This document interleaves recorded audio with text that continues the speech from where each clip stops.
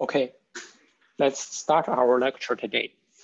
Last lecture, we've, we've looked at uh, more examples about discrete time and the continuous time convolution. Uh, one exercise that uh, we did not cover is the application of distributive property of convolution. This is an example. So we have a input signal x of t, which is a linear signal, at plus b. So a and b are constants. We have an LTI system whose in unit impulse response, h of t, looks like the figure. And uh, we need to calculate the output y of t for this LTI system. And as we know, y of t is the convolution of x and h. And because h has this uh, given structure, uh, it is natural to think that we can split H as H1 plus H2. So H1 is this platform which has height 4 or 3. H2 is this impulse which has value minus 1 over 3. So for the uh, shifted version of impulse, it can also take negative value. In that case, well, the arrow points uh, to, to the bottom points below to indicate negative. And uh, because of the distributive property, uh, x and convolution h is x convolution h1 plus x convolution h2. So we look at these two terms separately. First, for h1, uh, we first need to look at uh, h t minus tau, because that is what we need in the integral that defines convolution. So h1 of tau, if we plot it in the tau axis, is still this uh, platform with height 4 over 3 ranging from 0 to 1. And we first reflect this signal to obtain h1 minus tau, which is ranging from minus 1 to 0. And then from h1 minus tau to h1 t minus tau, we need to shift this signal so that the range of this uh, platform changes from minus one zero to minus one plus t, t. So this parameter t indicates how much we shift this signal. Uh, this is a uh, practice that we did in last lecture. Now we calculate the convolution between x and h by looking at this integral. x of tau uh, because its expression is already given, is a tau plus b. h1 of t minus tau is plotted in figure, in subfigure three here. And because of the uh, zero value taken by h1 of t minus tau outside the region minus one plus tt, we can shrink the integral region from infinite integral to a finite region integral the lower upper limit are minus one plus one, the plus t to t respectively. And during that, uh, inside that region, we can change h1 to 4 divided by 3, which is the value that it takes. So this integral should not be hard to calculate. The first term inside the integral is linear, outside it's uh, quadratic. But don't forget to, to change the uh, coefficient to one half of the origin. So four, three, we change it to two over three. And the second one, a constant inside the integral, it's just a linear term outside the integral. And we take, make a difference between the upper and lower bound. I will ignore the details, but the result is a linear function of t. So the coefficient is 4 over 3a with a constant term expressed in a and b. So this is the convolution between Hx and h1. So what about h2? So h2 is a impulse that occurs at time tau equals 2, and the impulse has negative value, minus 1 over 3. And we, we do the same trick, first reflecting this impulse so that it occurs at minus 2. And second, we shift it by t so that it occurs at minus 2 plus t this is h2 t minus tau. And again, we calculate the convolution by looking at the integral. And this time in this integral, so h2t minus tau, I write it explicitly. Minus 1 over 3 is its value. Delta is the notation for impulse, but this time the impulse occurs at minus 2 plus t, so that's why we write it as tau minus minus 2 plus t. Right, this is an impulse on the on the time axis tau. So tau is the time minus 2 plus t becomes a parameter indicating the location of that impulse. And for this kind of integral, we know, we learned the property that its value is just putting everything outside of integral, replace the tau in a tau plus b with the location where the impulse occurs. So replace tau with minus 2 plus t, everything follows, and the integral of this impulse is just 1. The result is again a linear function of t with coefficient minus 1 over 3a. And the final step is to just add up the two convolutions we calculated above. And after reorganizing those terms, we have the result, which is AT plus B. And for this particular example, it is interesting to notice that the original signal is xt equals AT plus B. And the output of this system is also AT plus B. In other words, xt, the convolution of x and h is x itself. We learned that any signal is convolution with the unit impulse. Delta of t is the signal itself. But this example tells us that the reverse might not be true. So in this example, x convolution is convoluting with a signal h of t that looks like this. It's not a unit impulse, but still the result of a convolution is x of t itself. Just a remark here. Okay. Uh, so before we proceed to the properties of uh, LTI systems, uh, because I received an email from some students saying that this example we went through last lecture about uh, continuous time convolution uh, seems very confusing. So I decided to give you another exercise and we will go through this example together to consolidate our understanding about continuous time convolution. So this time we have two signals. The unit impulse response of the LTI system HOT is expressed as difference between two uh, step signals. And the input signal this time looks a little bit more sophisticated. It's a cosine signal multiplies the difference of two step signals. Uh, to calculate the output yt, which is the convolution between these two signals. So to start with, I will give you two minutes to plot what signals x and h look like.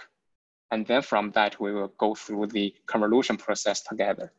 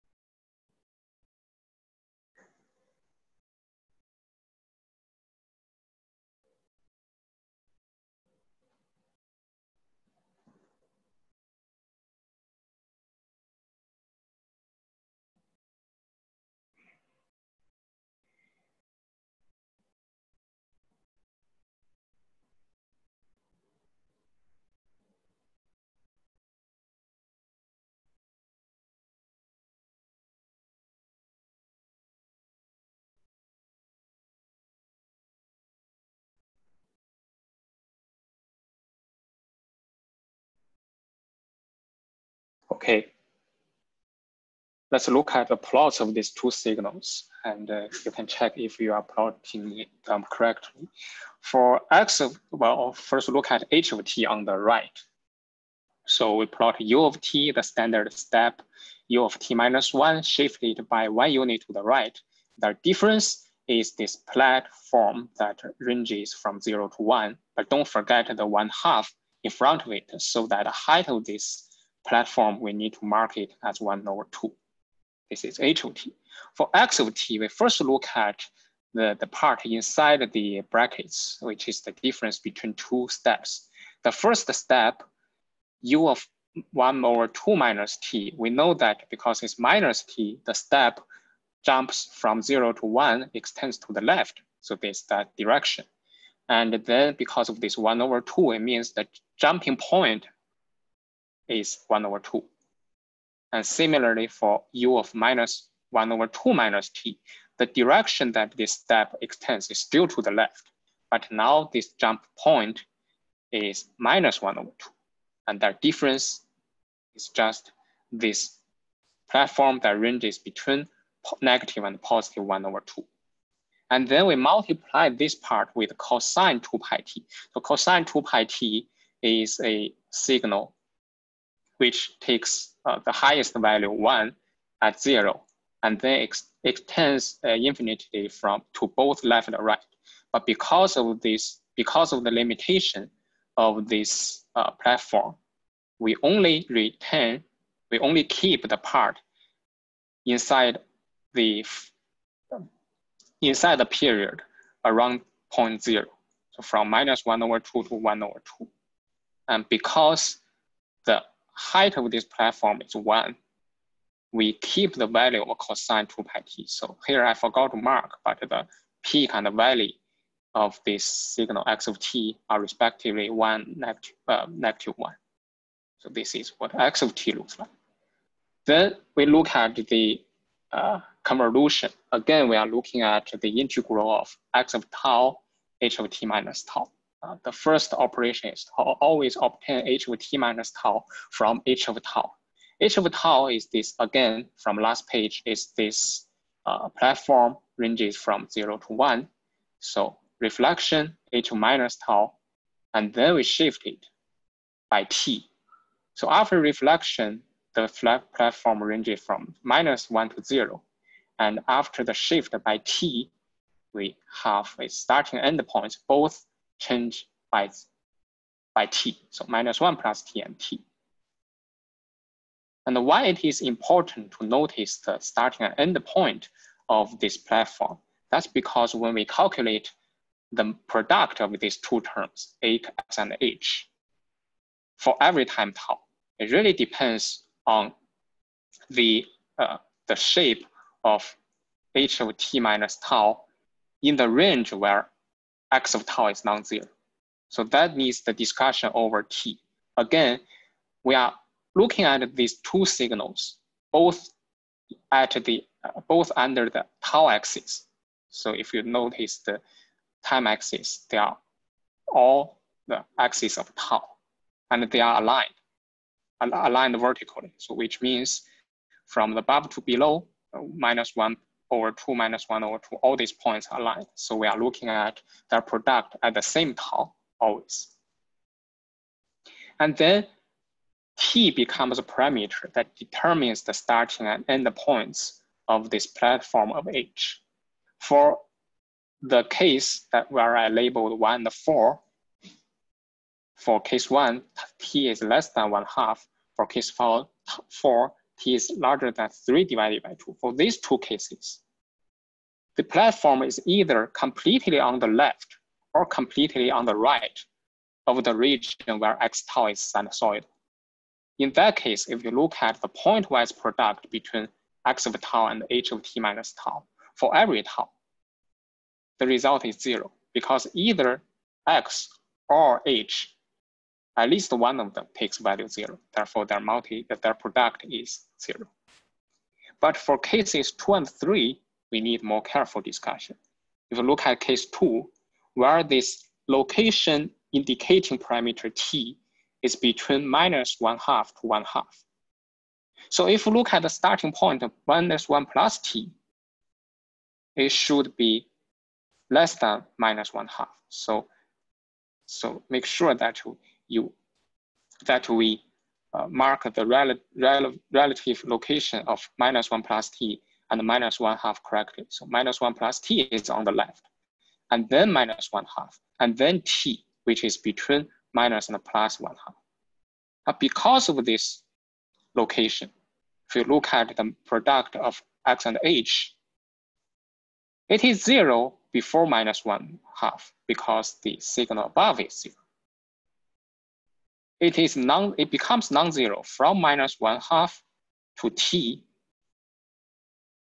And the product is the signal above, which is cosine two pi t, multiplies the signal below, which takes the value one over two. The height of this platform is one over two. And then starting from t, the signal below is zero. So the product of these two again becomes zero. So write it out.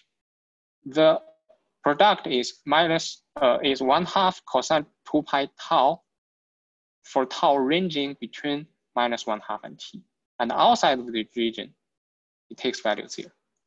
Similarly, for the case three, the region where the product is one half cosine two pi tau occurs from minus one plus t to one half.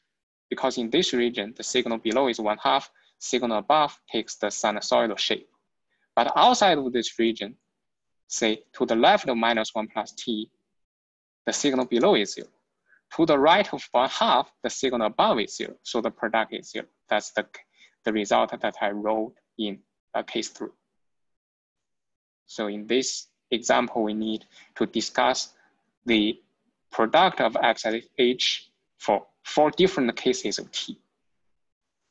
And for each case, we can further calculate the integral. For the first and last case, we are taking the integral of a signal that's constantly zero, so the integral is also zero. For the second, third case, we are taking the integral one half cosine two pi tau. So taking the integral one half cosine two pi tau, but the integral range or integral limits are different. For the second case, it's minus one half to t. For third case, is minus one plus t to one half. So we copy down these ranges as the integral limits for the respective case. And when calculated this integral, so the derivative of sine signal is cosine, but don't forget that when we uh, take derivative of sine 2 pi t, there is an additional coefficient 2 pi that needs to be um, that need to be multiplied with cosine. That's why when we take uh, calculate the integral, we change one half to one over four pi. And so we take the difference between upper lower bound, sine 2 pi tau becomes sine 2 pi t because the upper bound is t. Sine minus pi is zero. So the result is this for case two. Similar result is this for case three. If you are interested, you can plot this signal. So for t, so, so as the result of yt, we again look at the signal in the t-axis. Uh, I mentioned this uh, transform of, uh, or this switch of time variable. When we calculate the integral, we look at integral time tau, and t is a parameter, is a location, uh, is a location deter deciding parameter. And when we look at the final result, it again becomes a signal over t. For t less than 1 over 2, larger than 3 divided by 2, the, it corresponds to cases 1 and 4, the result is 0. For case 2, is sine 2 pi t multiplies 1 over 4 pi. And for case 3, uh, the t is changed to 1 minus t. So it just, which is symmetric with case two over uh, the symmetric axis one over two. It's a continuous signal that looks like this.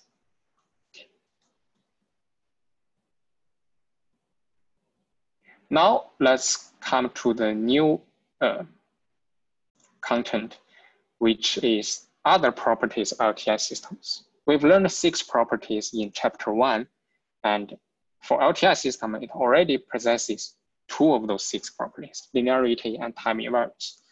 So what about the other four properties? Uh, to recap, they are memoryless, causality, invertibility, and stability.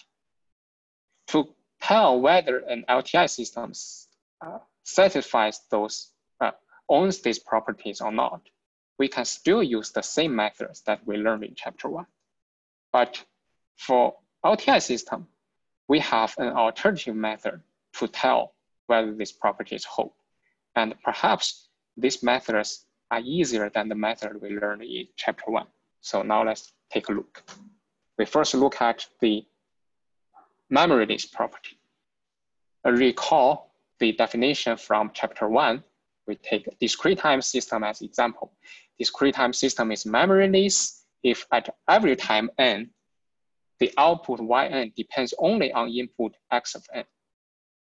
So in other words, does not depend on x at other time, n minus plus one, n minus plus two, etc. For the LTI system, if we want to validate, uh, we want to justify memoryless or not of this system from the input output behavior, we can still use the method in chapter one. But most of the time, LTI system, are only given the unit impulse response denoted h of n because as I said earlier, h of n is an inherent property of the system itself. So how to tell whether the system is memoryless or not from h of n? Let's look at the output yn, which is convolution between x and h. Because of, uh, of the commutative property, we can write h first and x second. And the definition of uh, discrete time convolution is this infinite sum over k. And we spread it for a few terms around zero. So from for k equals minus two minus one, zero, one, two, notice that this is minus k. So we always flip the sign. For h minus two, the terms that follows it is x of n plus two. And similarly, we have plus one, and for h1, the term that follows is x of n minus 1 and n minus 2, etc. So this is infinite. We only write five of these terms. Now look at the definition. For the system to be memoryless, yn can only depend on x of n. So now I have a quick question for you. When is this system expressed in this, in this equation? When is it memoryless? So Think about it for 10 seconds and then I will reveal the answer.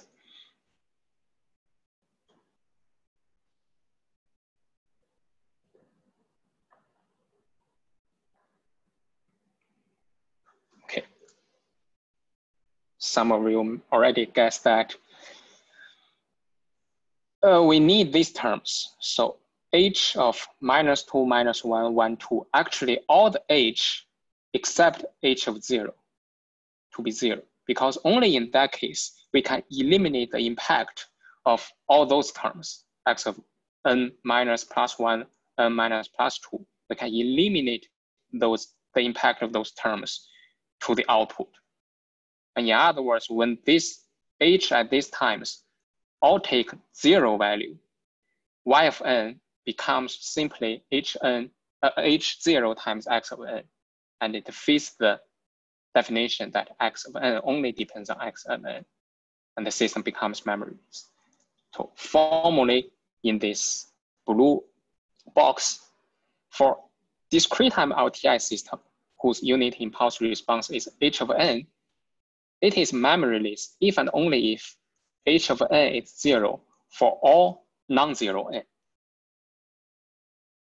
So in other words, h of n can only be non-zero at n equals zero. And we have a corollary from this uh, property. So if a LTI system is memoryless, then its unit impulse response must be written in the following form. So h of n is some constant k times delta of n. So what is delta of n? We learned it. It is the unit step. It is zero everywhere. It is one at n equals zero.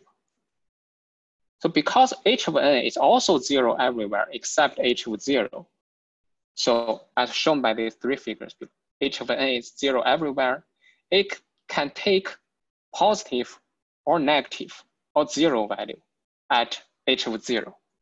And this value does not have to be one. That's why we multiply delta of n with a constant k. So the constant can be positive, negative, or zero. And indeed, this constant k is h of zero. So if we have this property about h, we can further imply the input and output relationship for LTI, for memory-less LTI system. The input output must satisfy y of n equals k times x of n. Why? Because y of n for LTI system is the convolution of x and h. Now h must be k times delta. We can extract constant k and leave x convolution delta inside the brackets. And we learned that the convolution of any signal with the unit impulse is the signal itself. So h convolution delta is x, uh, sorry, x convolution delta is x itself. Therefore, yn equals k of x. It means that for a LTI system which is memoryless, y of n must be a linear function of x of n for some constant coefficient k. This is different from a general LTI system because for general LTI system, y of n can be any function of x of n. We did the example before in chapter one. y of n can be xn squared, can be sine of xn, and so on. Those systems are always memoryless. But for LTI system, the only form that this system can be memoryless is y of n equals k multiplies x of n. And this structure can be extended to continuous time as well. It does not look differently, except for the uh, time index, uh, t versus n. Now, to uh, help our understanding, let's look at four examples. We have these four systems. Are they, all of them are, uh, actually all of them are LTI because the unit impulse response h of t are given to us. And the questions are whether they're memoryless or not. Uh, let's first do the two examples on the left, which are both for discrete time system. Uh, one minute.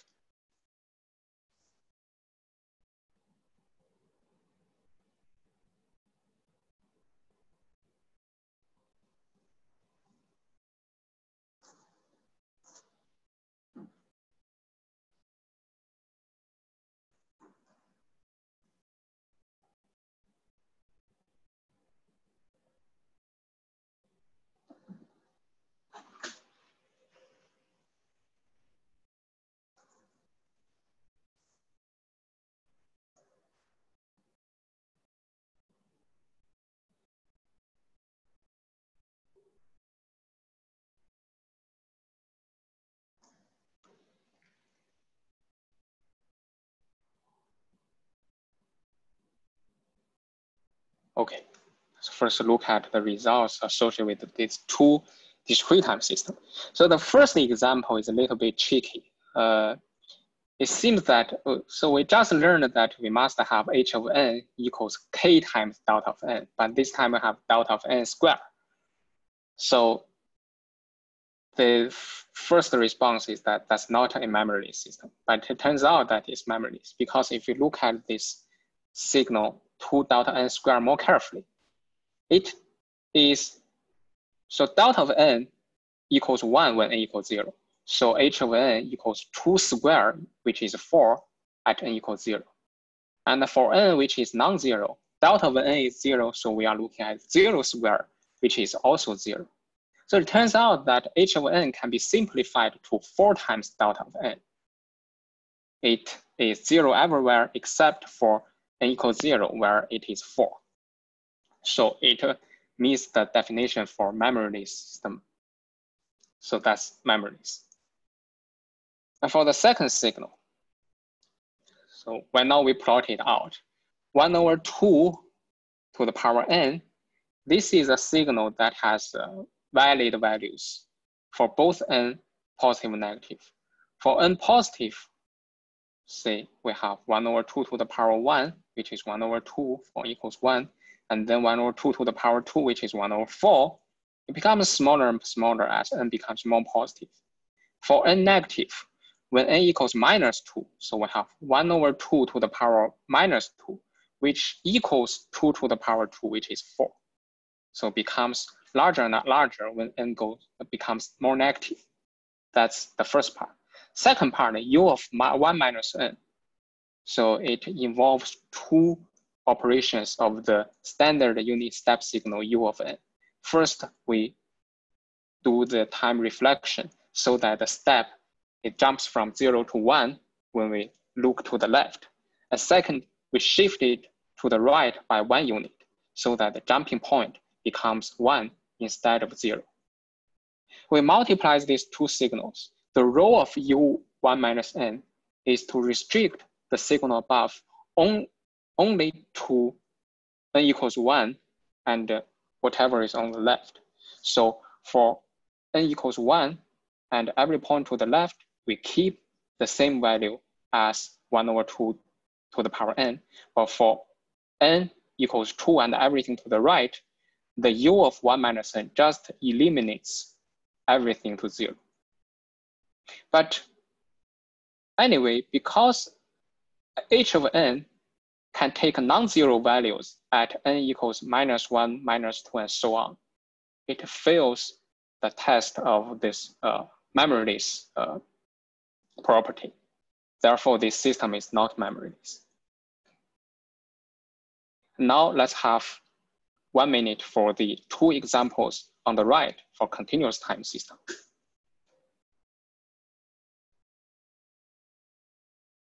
Half a minute because it, this should be simpler after the, you look at the discrete time example.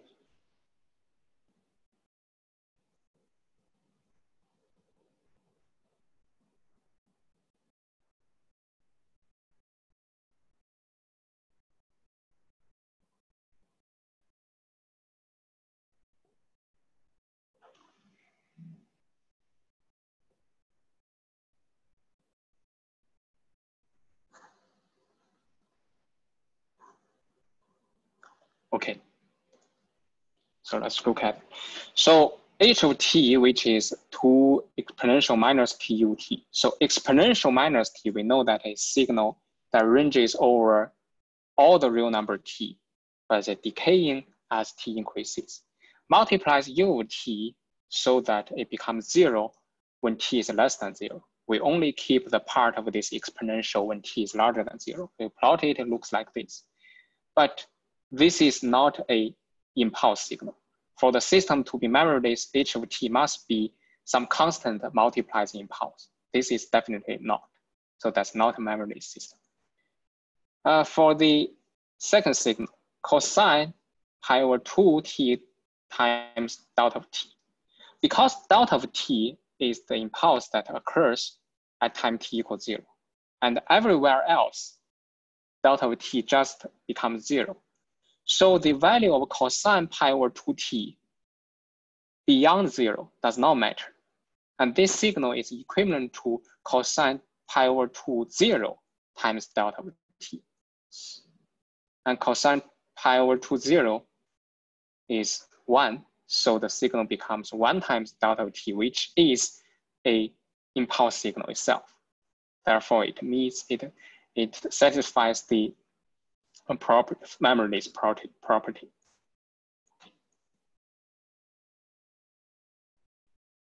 Now let's look at the second property, which is uh, causality. Again, we use discrete time system as example. In chapter one, we learned that the definition of a causal system is that at every time, output yn only depends on x at time n and before n, in other words, n, n minus one, n minus two. So it does not depend on x of n plus one, n plus two, does not depend on the future time. That's how a memory, uh, how a causal system is defined. And then we look at the causal property for LTI system. Again, we can turn to its unit impulse response, h of n, to tell if it is causal or not. Look at y of n, which is the convolution of h and x, the infinite sum over integer index k. Again, we spread this spread this uh, infinite sum by uh, enumerating several terms from k equals minus 2 to 2. This is the same as we've seen uh, in the previous few slides. For the system to be causal, y of n can only depend on x of n, x of n minus 1, x of n minus 2. So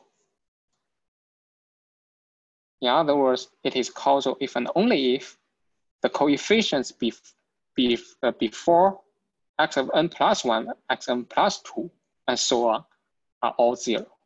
In other words, h of minus 2, h of minus 1, and even before that, h of minus 3, minus 4, and so on all zero. Only with this condition, we can eliminate the impact of future signals on the output y of n. So to formalize the statement, a discrete time LTI system is causal if and only if its unit impulse response h of n is zero for all negative n. And the same property can be extended to continuous time. Uh, continuous time is causal if only if h of t is zero for all negative t. So let's practice with these four examples. Again, first look at the two examples on the left for uh, discrete time, one minute.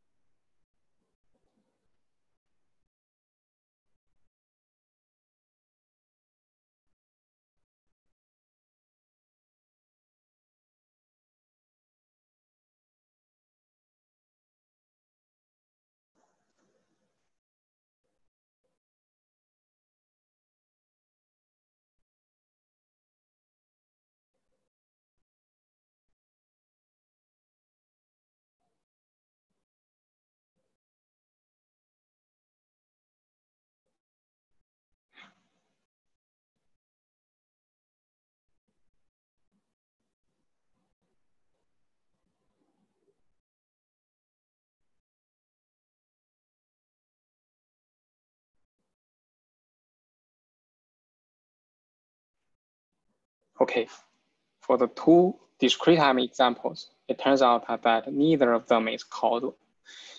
For the first one, we can plot, uh, actually we already plotted in the previous example.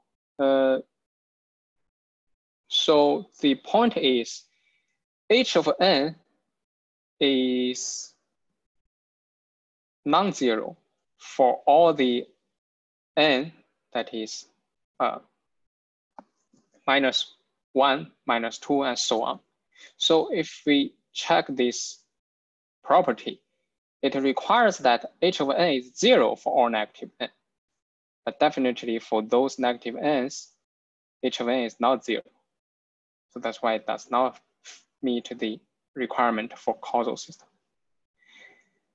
And for this kind of system to tell that it is not causal, instead of uh, plotting the full signal, sometimes only a counterexample is enough. For example, if you look at this second example, uh, second uh, system, the h of n, we only look at its particular value at n equals minus one. In that case, we are looking at minus three to the power of minus one, which is minus one, one over three, and u minus one plus two, which is u of one u of n is the standard unit step signal. It is defined in a way that for all the positive n, u of n is, for all the non-negative n, u of n is zero. Therefore, u1 is, sorry, for all the non-negative n, u of n is one. Therefore, if you look at particular value u of one, is the value of this step at time one, which is one. Therefore, h of minus one is minus one over three, which is non-zero. It fails the test of this property for causal system, right? Because for less than zero, it needs to be zero. But this time we find a h of n for n negative that's not zero. So this is a, this is not a causal system. Now, one minute for the two examples on the right for continuous time system.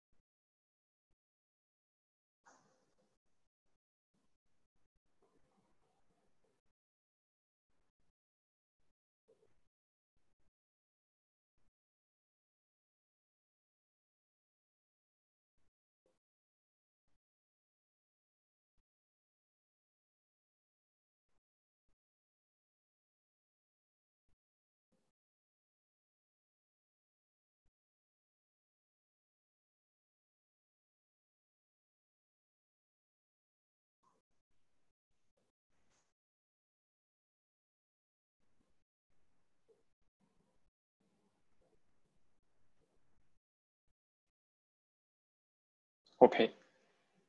For these two continuous time systems, the first one is causal.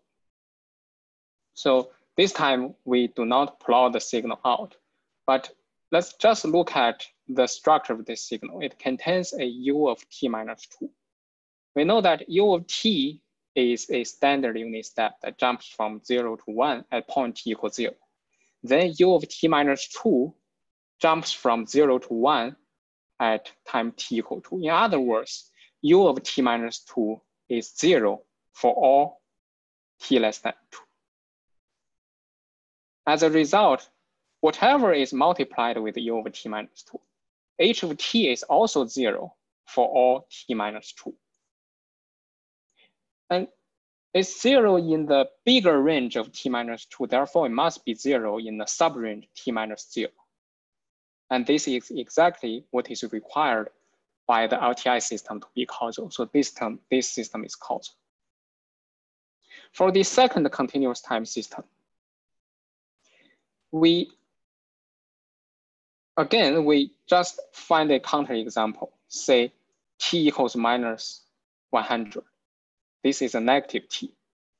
For this negative t, u of t is zero because that's the definition of the unit step signal. So the first term becomes zero. Whatever u, whatever u of t multiplies with, it makes everything to zero. But the second term, we replace t with minus 100, we have exponential minus one.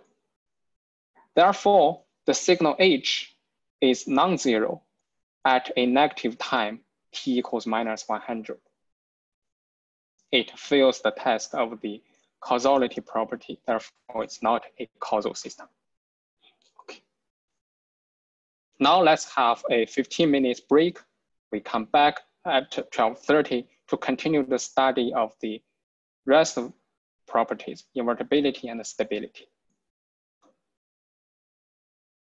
Stability, uh, I did not cast a formal definition. Instead, I will just show it in an intuitive way. Let's look at this figure.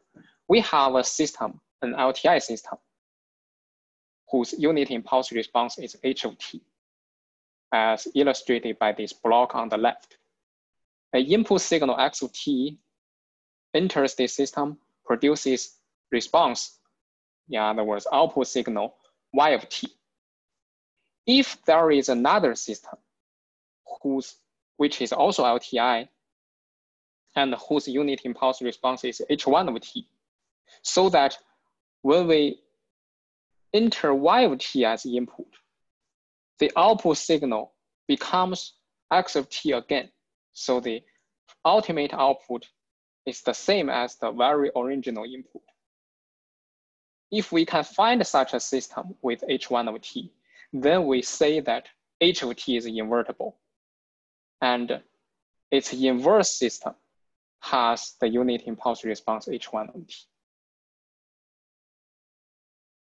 So the system above is the cascade or the series connection of two systems, one with unit impulse response h of t, one with h1 of t. And this system is equivalent to a single LTI system whose unit impulse response is the convolution of h and h1. So that property we learned before about the, when, when we learned the uh, distributive property of the convolution. And if you look at this equivalent system, what it tells, what this figure tells us is that the input is x, output is also x. So it means this system is a so-called identity system.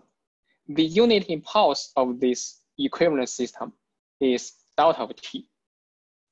Why is it delta of t? Because x of t going through this system, the output should be x of t convolution delta of t. And we know that x convolution with delta is the is the uh, is the signal itself, x of t. Uh, actually, this uh, relates to this example that we look at at the beginning of this class. So when we look at this example, we see that when x of t convolution with some signal is x of t itself, that signal might not be unit impulse. That signal can be something looks like this h of t. But that's a very particular case. They, I, I guess uh, I would rather say this is a uh, this is a very ad hoc case that we can construct. For LTI system, we come back to the invertibility page. What is needs is that for any input, for every input x of t, the output is x of t itself. Then the only unit impulse response that can satisfy this requirement is delta of t. For the example we look at at the beginning of this uh, lecture, we really need a particular input, x of t equals at plus b, to produce the result that input output are the same. But this time we, for an LTI system, we need it to convert every x of t to the active itself. That the only uh, system satisfy this is the identity system with unit impulse response delta.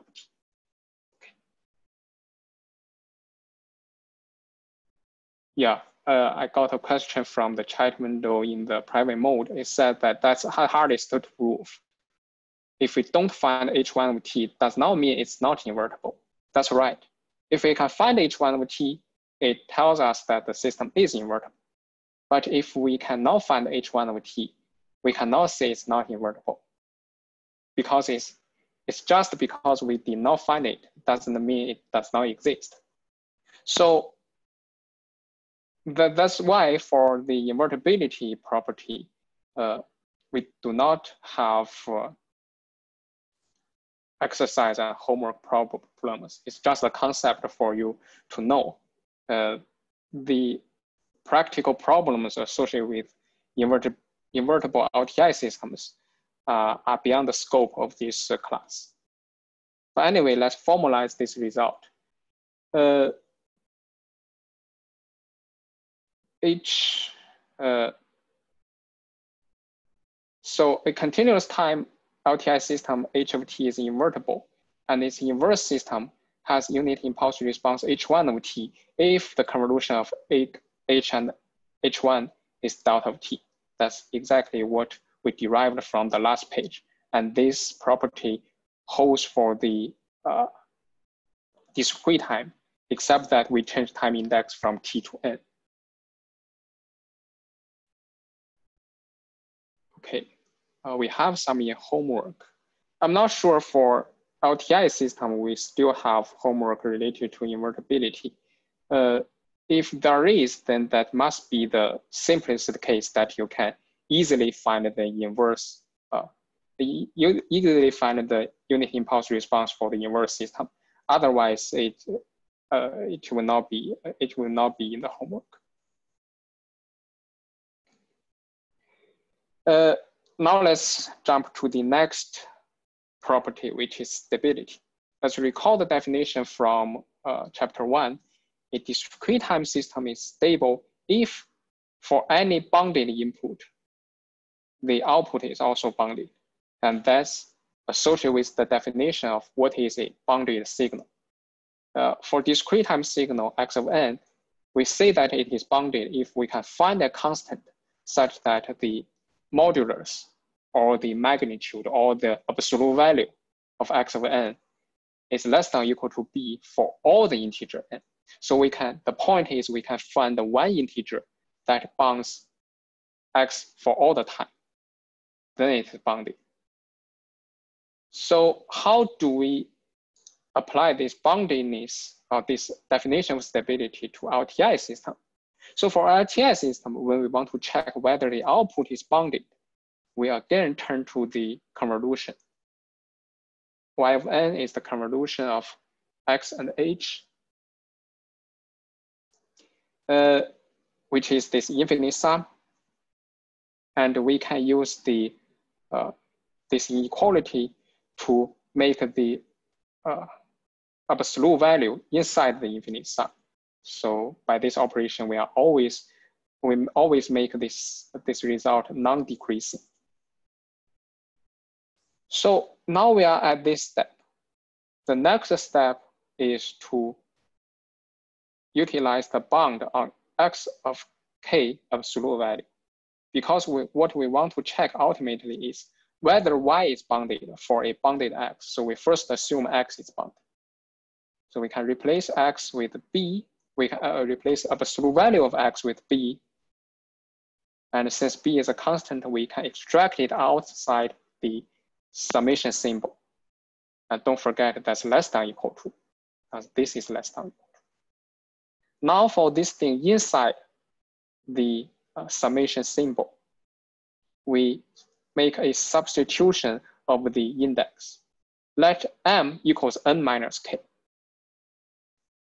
So for the entire series of equations and inequalities, we are looking at a particular n, a particular time n.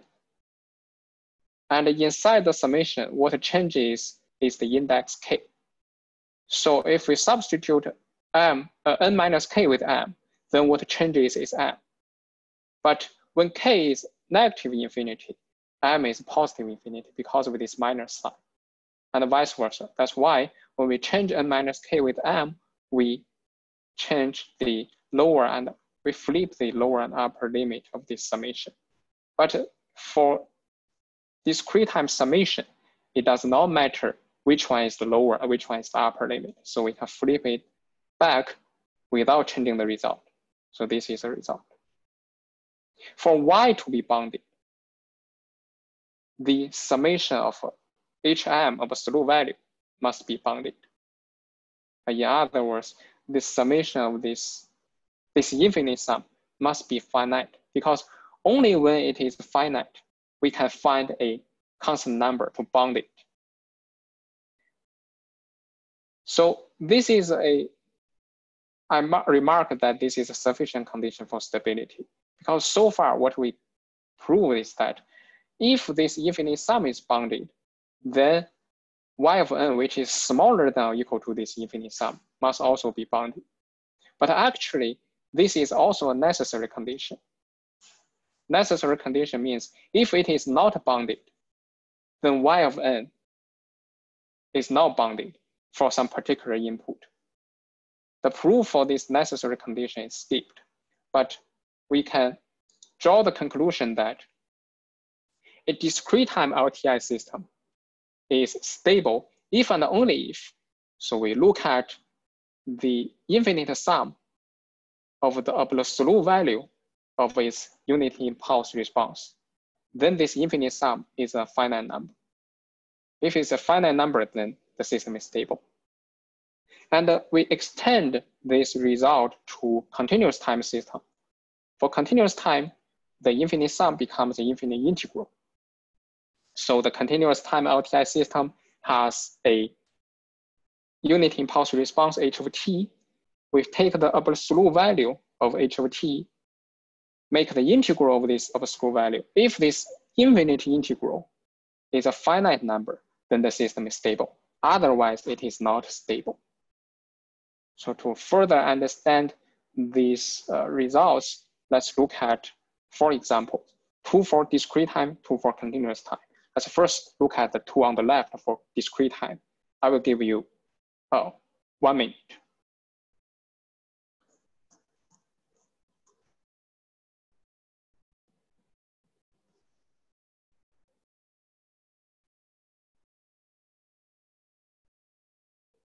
Uh, to respond to a question. So h of t is decreasing with t. No, for um, well, it might not. Let, let me see. If you are saying that as t goes to infinity, is h of t decreasing or not? Mean, in general, we need that h of t becomes smaller and smaller, and its absolute value approaching zero as t goes to infinity. Because if h of t absolute value itself is not zero, then its absolute value, its integral will just keep blowing up as t goes to infinity.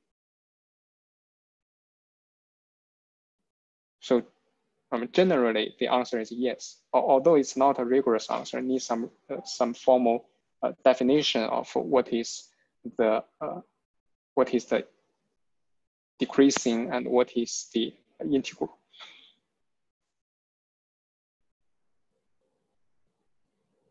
Okay, let's look at the results associated with discrete time systems. The first one if you just check it by the properties we learned, h of n absolute value is 1 over n to the power n because it's a non-negative number anyway. But for the infinite sum of h of n, we can change it to, a, we can change the upper bound, uh, we can change the upper limit of the summation to 1 because of this u1 minus n. We've seen from previous example that u of 1 minus n becomes 0 for all the n that is larger than 1. That's why it eliminates all the terms for n larger than 1. And for this summation, which extends to the to, uh, to n equals negative infinity. If you look at the first term, n equals 1, it's 1 half. Second term, n equals 0, which is 1 third term n equals minus 1, which is 2. And then 1 half to the power minus 2 is 4. As n goes to negative infinity, 1 over 2 to the power n becomes larger and larger. And the summation will also blow up to positive infinity. Since it's not finite, then the system is not stable.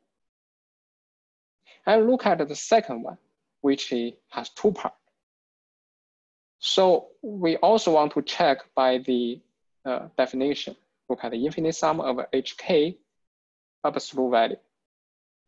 We write it in three parts. h of zero need a special treatment. So we cast it as a separate term. And then the second part is for all the positive k. The third part is for all the negative k. For h of zero, if you just replace n with zero, then we have 2 to the uh, 1 over 2 to the power 0, which is 1. u of 0 is 1 by the definition of standard unit step sequence. So the first term is 1. The second term is minus 3 to the power 0, which is 1.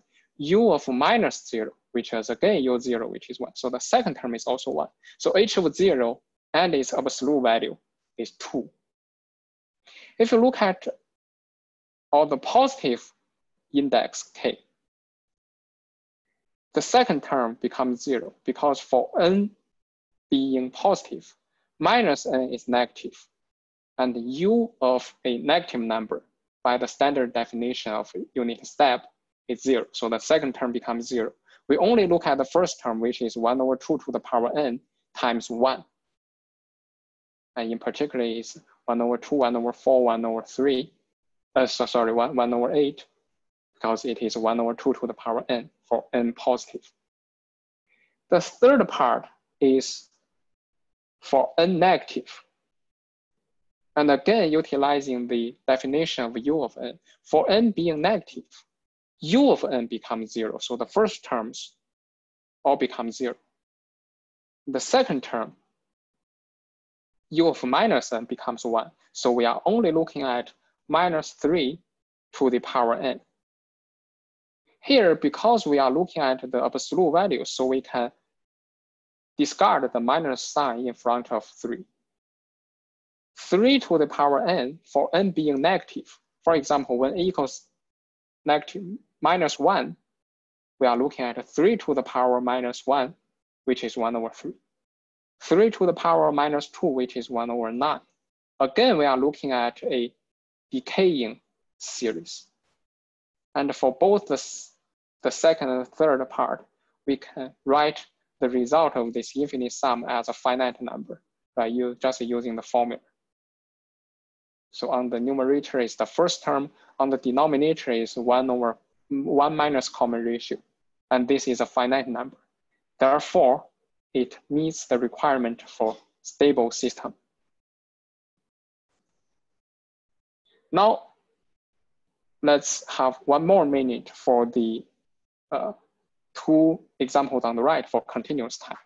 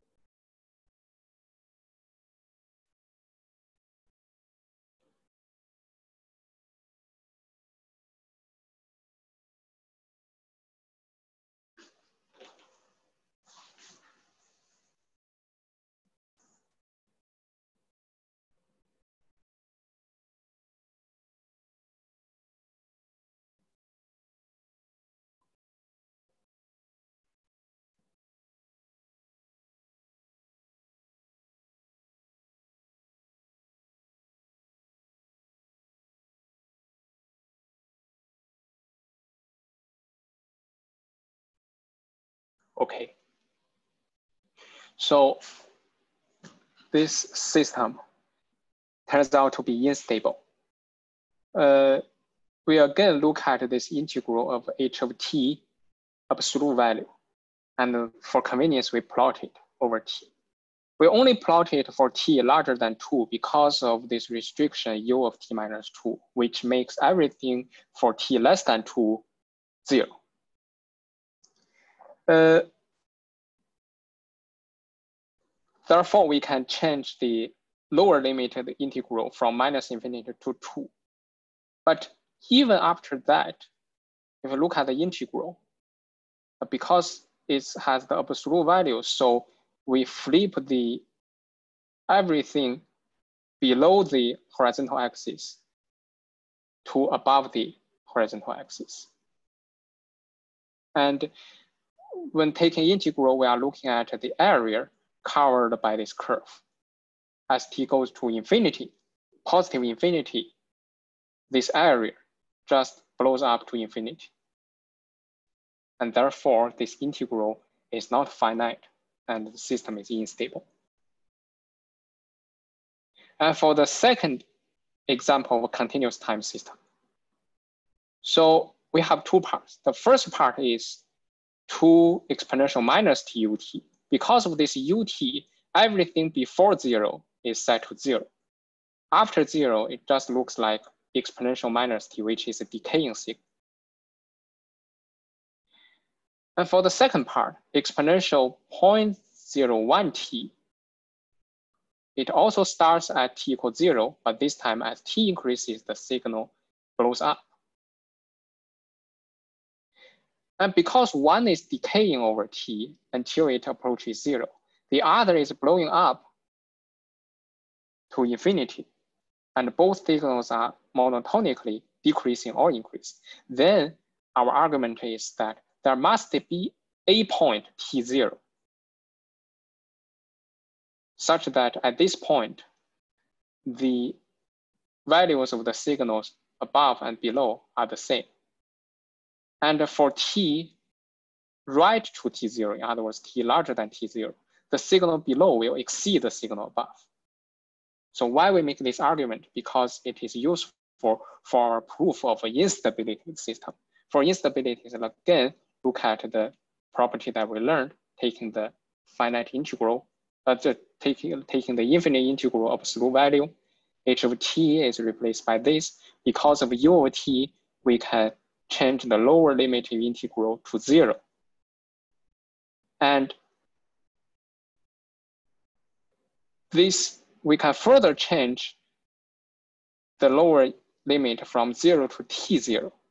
And by changing that, because t0 is positive, we are discarding part of the integral from zero to t0. And every period of this integral is an integral over positive uh, over non-negative numbers. That's why when we shrink the integral region, which we have this larger than equal sign, which means the value on the right-hand side becomes smaller.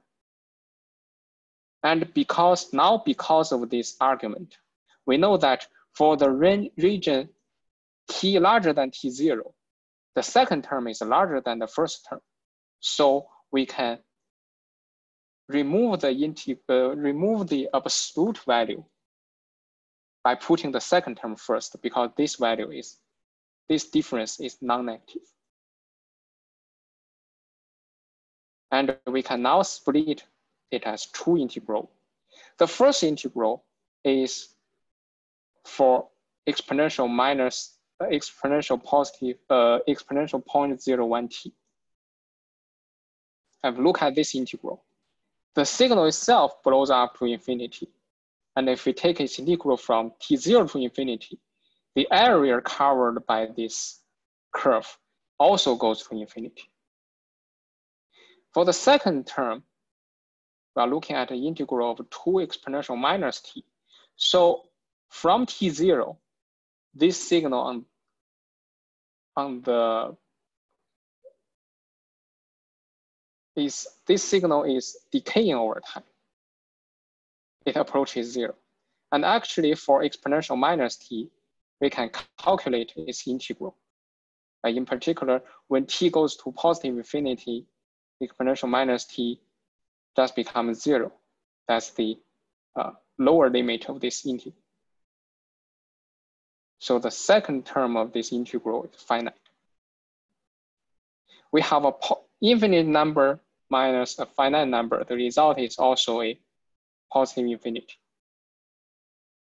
In other words, the integral of each absolute value goes to positive infinity, which are, so to show that it's a finite value, I, I, I put it here in the green, uh, green color. So it's minus two exponential minus t, take difference between positive infinity and t0, which just two exponential minus t0. It's a finite number. The result is that the system is unstable because this integral goes to positive infinity.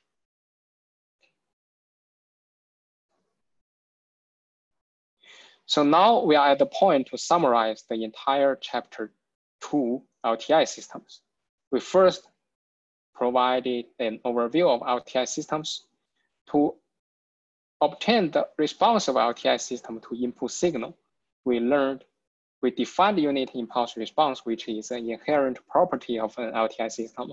And then we learned the mathematical tool convolution. Output is the input convolution with the unit impulse response. This convolution operator, similar to the regular multiplication, possesses the commutative, uh, distributive, and associative uh, property. And then at the last part of this chapter, we have uh, other four properties of LTI systems and we can use method in chapter one to tell if LTI system satisfies each of these four properties or not. But if the unit impulse responses of LTI systems are given to us, then we can tell these properties hold whether these properties hold or not, just by checking the property the structures of unit impulse response H, which turns out to be more convenient. So now let's jump out of LTI system and come to the next chapter.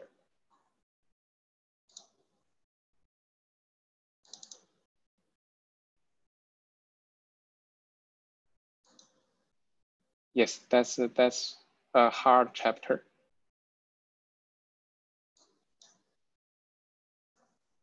So a lot of uh, uh, concepts to understand for this chapter. And it's not simply the computation techniques or skills. It's understanding some of those tools really needs uh, some intuition. So chapter three is the Fourier series for periodic signals. So first, let's recap the most important knowledge that we learned from last chapter, LTI system. So we are given LTI system. Remember that what motivates our study of unit impulse response and the convolution is that any input signal, let's take discrete time signal, for example, can be represented as linear combination of time-shifted versions of unit impulses. And this is defined as the convolution of x with the unit impulse. And because of the linear, linearity and time invariance property of the system, the output yn has the same structure as input. It's also a linear combination. And the linear combination even has the same coefficient. So we treat x as the coefficient for every term of this linear combination. The only thing that changes from input to output is that we change delta to H. So in other words, we change unit impulse to unit impulse response. And the output is X convolution H. So that's what we learned from last chapter. And this can be useful for both discrete time system and continuous time system.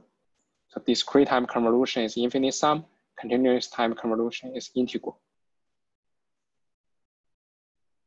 And for this chapter, we still focus on the behavior of LTI systems, but we are looking at not an arbitrary input, but input signals which are periodic. It turns out that when the input signals are periodic signals, the output of an LTI system can be obtained in a way that is more convenient than calculating the convolution. You did the homework, you know that how complicated it can be to calculate convolution of two signals.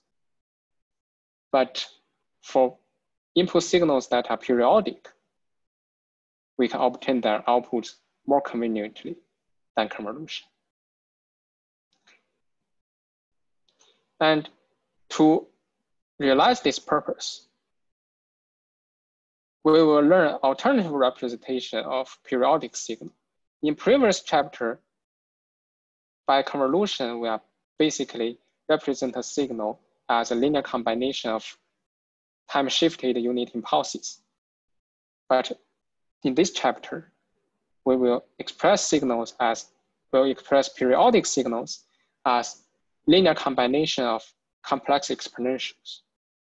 If you still remember what we learned in chapter one, complex exponential signals are extensions of sinusoidal signals. So basically a signal with both real part and imaginary part sinusoidal signals with the help of Euler's formula can be expressed as complex exponentials. And this kind of representation, the linear combination of complex exponentials is known as Fourier series. So we will learn Fourier series, its definition, its properties, and application in LTI systems for both continuous time and discrete time. Uh, it turns out that uh, we will devote about 70 to 80% time on continuous time and the rest of the time on discrete time. Uh, overall speaking, the continuous and discrete time signal systems are of the equal importance in engineering practice. Or sometimes discrete time system may be more common and important if you look at the prevalent digital communication and multimedia systems. But for this 13-week uh, class, we instead focus more on continuous time signals and systems. That's it because discrete time signals and systems have more subtleties and caveats that needs to be that need to be paid attention to. And those subtle details sometimes may hide the intrinsic structure and will not help our understanding of the mathematical tools that are learned. For example, in chapter one, we've seen when both a continuous time and discrete time system are written in the same form, except for the difference of time index t versus n, a continuous time signal is periodic, but the discrete time signal might not be periodic, right? There is a condition for when a discrete time sinusoidal signal to be periodic. And we also seen the example that when we compress a continuous time signal over time, all the data points are retained. But when we compress a discrete time signal, some of those data points are lost. And later we will see in this chapter that continuous and discrete time Fourier series have different structures. So basically continuous time Fourier series is an infinite sum, but discrete time Fourier series is a finite sum because of the repetitive patterns of discrete time exponential, uh, discrete time complex exponential signals. So that's just a heads up why we devote more time on continuous time. So since we want to express signals as linear combinations of complex exponentials, let's quickly recall what are the uh, exponential signals. Exponential signal for the exponent being real number is straightforward to understand. Just two cases. Exponential RT is blowing up over T when R is positive, decaying with T when R is negative. Now if we replace R with S, where S is a pure imaginary number, j omega zero, then using the Euler's formula, exponential j omega zero t is cosine omega zero t plus j sine omega zero t. So the cosine sine signal does not look much different except for a pi over two difference. So we only look at the cosine signal, which is periodic fundamental period is 2 pi divided by omega 0. Omega 0 is called the fundamental frequency of cosine signal. And therefore, this imaginary exponential signal, exponential j omega zero t, is also periodic with fundamental frequency omega zero. A little bit more complicated case, we have S as a full complex number with both non-zero real and reactive parts, uh, real and imaginary parts. So we split them, exponential RT becomes the magnitude of this signal, which changes over T. And exponential j omega zero T is still the cosine sine, and we only plot cosine because the similarity of sine. The oscillation is still at a frequency omega zero. In other words, at a period two pi divided by omega zero. But this time, the magnitude of the signal is changing over t because of this exponential RT. When R is positive, the magnitude is blowing up. When R is negative, the magnitude is decaying. So this magnitude just intuitively understand as an envelope that limits the oscillation. That's a quick review of exponential signals. Now, what if this kind of exponential signal is the input to an LTI system? So that's what motivates our definition of Fourier series. So let's tune up for this moment. We have LTI system, input signal x of t is exponential s t. S can be any complex number. What is y of t? Remember that for LTI system, what we can begin with is always to calculate output using convolution, right? It can be convolution of x and h, can be convolution of h and x because of commutative property. Okay, it's a integral of h tau x of t minus tau d tau. x of t minus tau, we replace the input signal replace the t with t minus tau, it becomes exponential as t minus tau. Notice that inside the integral, the integral variable is tau. And the t becomes a parameter that's irrelevant to the integral. That's why we can extract e exponential st outside the integral. What's inside the integral is only the exponential minus s tau.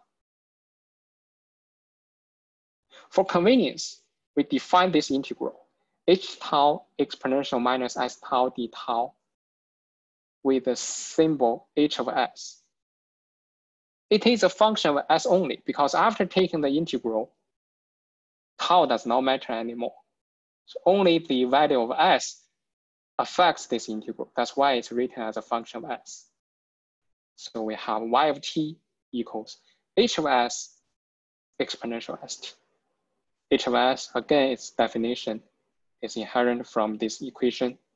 It's the exponential h tau exponential minus tau e tau, d tau.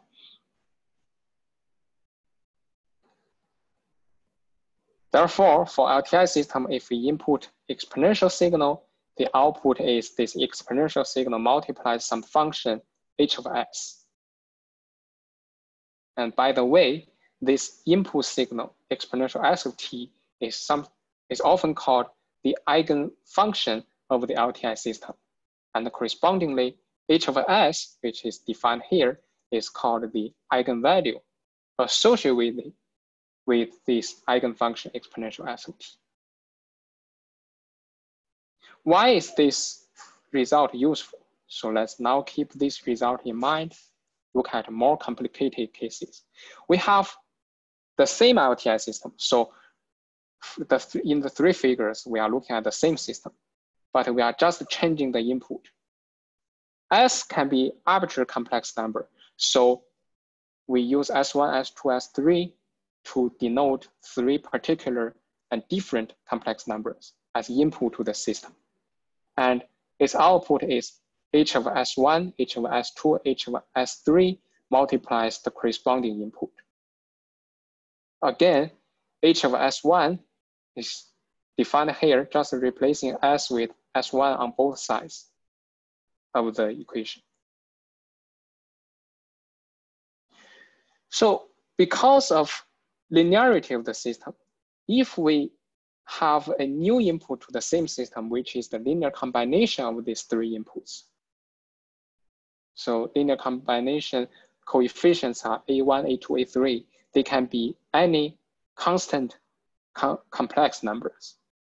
Then due to linearity, the output is the same linear combination of h times s, right? A1 HS1 exponential S1T, and so on.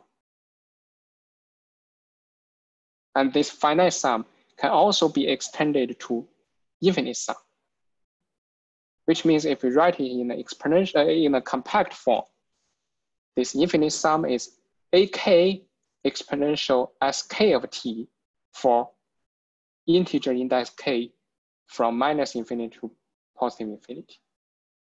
And still the linearity holds. The output is also an infinite sum, an infinite linear combination. For each term, the coefficient is still ak, but we change from exponential skt to h over sk times exponential skt. So to summarize this phenomenon verbally, if x of t can be expressed as a linear combination of eigenfunctions, exponential skt, then yt, the output of the LTI system, is the same coefficient linear combination of h of sk eigenvalues multiplies exponential skt, the eigenfunctions.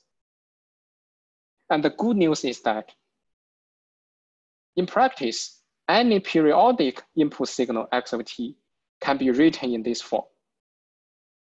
And in particular, so this property holds for arbitrary complex number s of k. But when the signal x of t is periodic, we can even have more specific s of k, which has zero real part and is a imaginary number. In other words, we have input, which is a linear combination of purely imaginary exponentials. Then the output is the same coefficient linear combination with additional capital H. And we replace everywhere s with j omega k. The definition of H still applies, just change s to j omega k. And the way that we express x of t as the linear combination of exponential j omega kt is called the Fourier series representation of x of t, for which we will study more detail in the next lecture. Okay, uh, see you on Friday. Thanks.